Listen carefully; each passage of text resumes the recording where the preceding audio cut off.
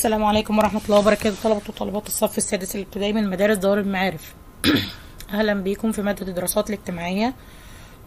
ودرس جديد من الترم التاني إن شاء الله كل سنة وأنتم طيبين. النهاردة هنبدأ إن شاء الله بالبيئة الصحراوية والخصائص الطبيعية للبيئة الصحراوية. زي ما إحنا متعودين وعارفين البيئات بتاعت مصر متنوعة وخدنا الترم اللي فات البيئة الزراعية والبيئة الصناعية. الترم ده إن شاء الله إحنا هنكمل مع بعض بالبيئة الصحراوية. إيه هي إيه هو المقصود بالبيئة الصحراوية؟ هي المناطق اللي بيقل فيها المطر وبيسود فيها الجفاف والفقر الشديد في النبات وندرة الحيوان. وسطحها بيغطيه الرمال والصخور. بمعنى تاني إن هي مفيش أمطار بينزل مطر كل فترات بعيدة جدا فبالتالي مفيش مية. وده هيأثر عندي في النبات فهيبقى عندي نبات فقير أو قليل جدا وكذلك الحيوانات هتبقى قليلة جدا. سطحها عبارة عن رملة وصخور. موجودة فين عندي البيئة الصحراوية دي في مصر؟ موجودة عندي في ثلاث مناطق. الصحراء الغربية الصحراء الشرقية شبه جزيرة سيناء. دي الثلاث مناطق اللي إحنا نتعرف عليهم عشان نعرف البيئة الصحراوية بتاعتنا. يلا بينا ندرس كل منطقة من المناطق بتاعتها ونبدأ ناخد الخصائص الطبيعية للبيئة الصحراوية زي ما إحنا متعودين بنبدأ من الموقع. إحنا اتفقنا ان إحنا عندنا ثلاث مناطق. الصحراء الغربية ودي أكبر صحاري مصر مساحتها 68% امتدادها عندي من وادي النيل والدلتا في الشرق حتى الحدود المصرية الغرب... آه... الليبية غربا يعني الحدود بين مصر وليبيا في الغرب. والبحر المتوسط شمالا لحد حدودنا مع جمهورية السودان في الجنوب. الصحراء الشرقية 22% من مساحة مصر. بتمتد عندي من ساحل البحر الأحمر وخليج السويس شرقا حتى وادي النيل غربا.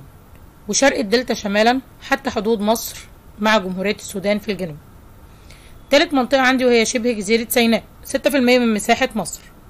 بتمتد عندي من البحر المتوسط شمالا إلى البحر الأحمر جنوبا ومن خليج العقبة والحدود المصرية الفلسطينية شرقا إلى خليج السويس وقناة السويس غربا. والموضوع ده كله متوضح عندي على الخريطة. ده الموقع الجغرافي للبيئة الصحراوية اللي موجودة عندي في مصر بالثلاث مناطق. تاني جزئية عندي هاخد مظاهر السطح بتاعتي. شكل السطح عامل إزاي في كل منطقة من المناطق دي؟ أنا هتكلم هنا على جبال وهضاب. وبعد كده هاخد الهضاب دي بيعلوها إيه في كل منطقة. هبدأ بالصحراء الغربية عندها جبل واحد هو جبل العوينات اللي في جنوب غرب مصر اللي بيمتد بين مصر وليبيا والسودان الهضاب عندي تلات هضاب هبدأهم من الشمال. مرمريكا الهضبة الوسطى في الوسط هضبة الجلف الكبير في الجنوب.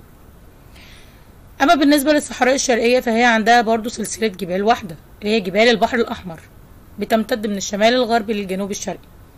أعلى جبل في جبال البحر الأحمر جبل الشايب. ركز إن ده أعلى جبل في جبال البحر الأحمر. أما بالنسبة للهضاب برضو عندها ثلاث هضاب.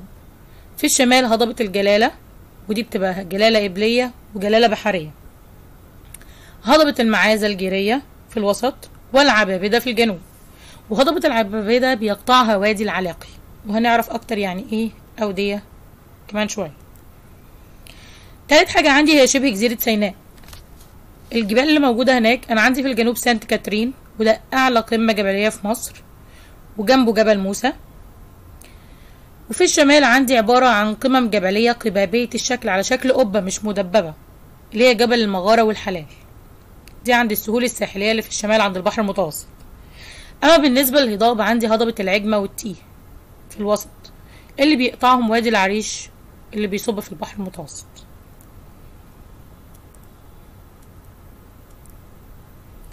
هضاب الصحراء الغربية بتتميز بمجموعة من الظاهرات الجغرافية زي المنخفضات منخفض القطارة أكبر منخفضات مصر كثبان رملية يعني تجمعات كبيرة من الرمال ليها أشكال متنوعة زي بحر الرمال العظيم بين مصر وليبيا. الواحات ودي أرض في الصحراء بتقوم فيها الزراعة على المياه الجوفية الداخلة الخارجة الفرافرة البحرية سيوة.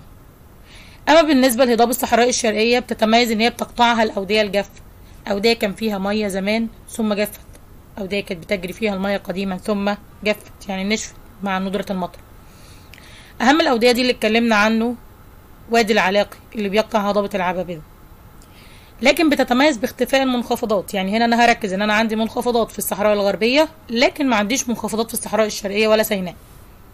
بالنسبة لهضاب سيناء بيخترقها وادي العريش اللي بيصب في البحر المتوسط زي ما قلنا اللي بيخترق عندي هضبتي التيه والعجمة.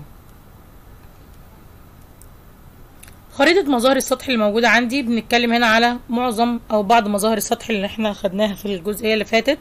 هلاقي عندي جبل سانت كاترين وادي العريش جبل الشايب هضبة المغارة هضبة العبابدة وادي العلاقي.